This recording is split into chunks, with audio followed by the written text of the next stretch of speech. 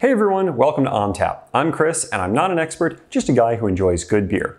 So in this episode, I want to do a taste test of the most popular beers produced by the Cerveceria Cuauhtemoc Moctezuma, Mexico's second largest brewery. This brewery is most well known for producing the Dos Equis line of beers, but here's the thing. Dos Equis is not the only kind of beer that this company produces, not by a long shot. I actually did an episode on Dos Equis if you want to check that out, uh, link down below and card over here. But in this episode, we're going to see how the Dos Equis beers stack up against all of the other beers produced by this brewery. Oh, and also just to clarify, because I didn't really say this in the Dos Equis episode, the Cerveceria Cuauhtemoc Moctezuma was actually created officially in 1985 when the Cuauhtemoc Brewery and the Moctezuma Brewery merged together. Before then, they were totally separate. And the Moctezuma Brewery was the one that produced the Dos Equis brand, but the Cuauhtemoc Brewery was actually founded in 1890 by Jose A. Muguerza, and they produced beers like the um, Carta Blanca line of beers, which we're going to try today. Oh, and also really quick, um, as of 2010, this brewery is actually a Heineken subsidiary, so yeah, just wanted to get that out of the way. Anyway, enough about history and brewery stuff. Let's get into tasting. So first up, we have the classic Dos Equis. Yep, very light, uh, not much of a head. Doesn't smell like much, a bit of a lager, and uh, let's take a taste. The thing about this beer is it has a really, really minor shade of that bright character that I characterize as being sort of very definitive in, in Mexican beers. The bright flavors, it's not quite like lime, but it's just this sense of like a summery kind of hot weather feeling that I think is very characteristic in uh, Mexican beers that you don't get so much in other lagers from other countries. The Dos Equis here, it's a little bit more tempered. There's just sort of like a little hint of kind of Mexican brightness, as I would I would say, with a lot of just kind of more standard, generic kind of lager flavor to it. I would say it tastes like a reasonably light, easy to drink, garden variety, generic beer that's got a little, little hint of that kind of characteristic Mexican brightness. So next up, we have, pulling at random, Sol. So this one's still very pale, but it's a little bit more golden. I mean, unsurprising, I'd imagine. If you, you're calling a beer Sol, you'd want it to have a little bit of that kind of golden sunshine color. So doesn't smell like much. Maybe, maybe a very hint of uh, lemony, kind of lemon flavor. It definitely is very light and it's very summery and it has, I almost want to say like a, a, a really, really minor like lemon flavor to it. Not much, but it's just a, a, tiny little hint there. It also feels a little bit less carbonated. Definitely something you'd want to be drinking when it's sort of hot and sunny and um, you know really really during the day. This this tastes very much like a daytime beer. I think the other thing too is the fact that it doesn't have that much carbonation in it also maybe doesn't help that much because I'm just really focusing on how just light and, and borderline thin the body of the beer is. Again, not, not much in the way of strong flavors, nothing actively like horribly off-putting about it, but nothing that's really notable enough, I'd say. So next up, number three, pulling at random, we have Tecate.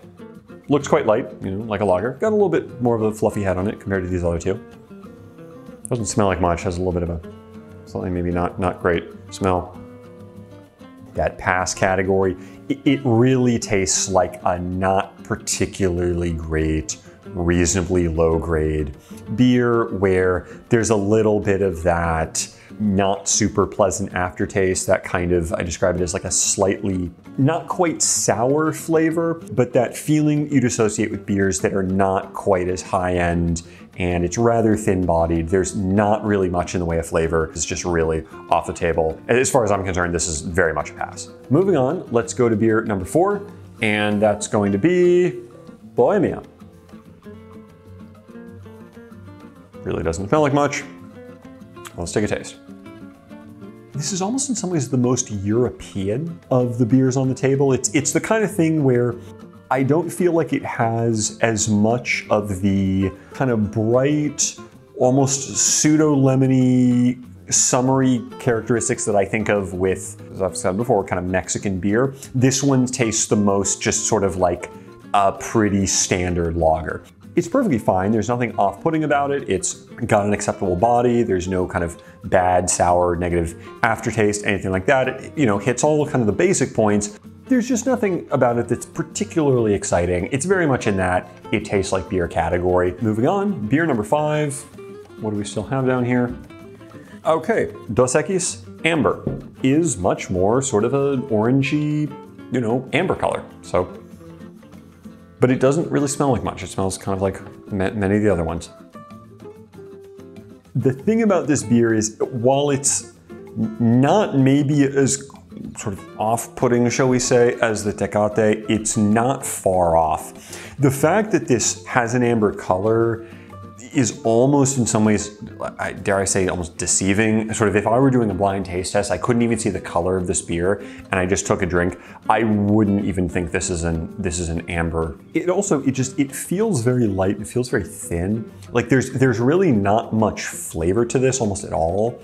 And the sour aftertaste there's almost there's very little of it. Certainly there's there's less of it than with the Tecate but there's still just a little hint of that at the back. It just, it feels very thin. It's, it's maybe not quite like a light beer. I don't know about you, but for a beer that's an amber, I don't really think it should be light and thin and, summer, and summery. It should have a little bit more kind of weight to it, a little bit more flavor. And there's just, there's very little flavor in this. Let's get to the last beer, which is Carta Blanca. Um, look at the color here. Yeah, very light, looks like all the rest. Very slightly almost sweet smell to it. What that is, is it's like all of these other ones, but if you just made the beer better. It's still quite light in terms of its profile. It's not like it's a heavy, you know, thick sort of beer. It still very much tastes like a like a lager, but it just has that proper feeling of, you know, what what in my opinion what a beer kind of should taste like, or certainly a lighter lager beer. Here's my final assessment. In last place, we have Tecate. This beer is really just, it, it's it's passable. Um, it's got a, kind of a sour aftertaste. It's very thin. It doesn't have a lot of nice flavor. Almost in the borderline kind of lower quality light beer category without technically being a light beer. Dos Equis Amber Especial. It's basically just like this, but not quite as much a beer with that sour aftertaste. It's still there, but there's, there's not as much. Um, again, very thin, not really much flavor, and really no sense of it being an amber beer. So I would pass on that. Sol is the sort of beer that's like right on that line in terms of the pass consider. It's very light, it's very summery, it's got a very, very mild, almost kind of lemony flavor to it, but Aside from that, the beer has still got a little bit of sort of, I'd say, thinness in its body. And I get it's a summery beer, but also the fact that I feel like it's not that carbonated. It, it's still, you know, of course got bubbles in it, but it's not as carbonated as many, many other beers means that the somewhat stillness of it kind of makes you think about the fact that the beer is so light and a little bit thin, which isn't great. But with the little bit of kind of, you know, lemon hint and, and you know, at least the basic acceptableness of it being put together, it, it's not like a hard pass. Though I think with this beer, you, you really would only drink it if you're at a party that's outdoors it's hot, and the sun is shining. Bohemia is in some ways the most generic, perfectly okay, but sort of nothing exemplary. Dos Equis is like Bohemia, but I think it's just got a little bit more of that sort of bright note mixed into it. Um, not that it's very strong, but it's notable enough that it's sort of an interesting, nice combination of kind of, as I've said, kind of Mexican brightness with more kind of traditional sort of European, you know, Euro-American style um, table lager. So you put that together, it's, it's you know, slightly interesting combination while still being very much a middle of the road table lager. And then finally, we have Carta Blanca, which is, uh, in my opinion, honestly the best beer on the table.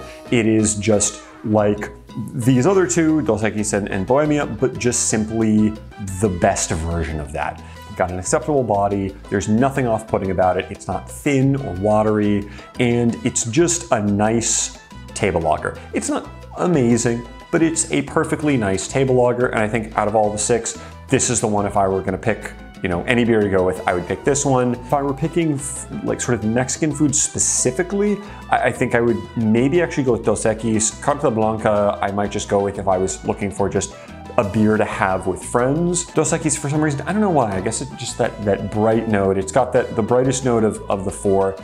Food pairings, again, skip this. This one, maybe if you're having really light food, like if you're having ceviche, I again, during the day and it's hot and you're outside and with friends, fine. I mean, maybe if it's nighttime and it's like a, still like a million degrees outside because the day was just like unbearable. Okay, fine, whatever. But um, you you, you kind of get the idea. Otherwise, if you're not having food that's not super light, like again, skip it. This one's also pretty generic. You just you know kind of have it with whatever. So anyway, yeah. So that's my assessment. And um, as always, please you know remember to subscribe, like the video, and I'll see you next time.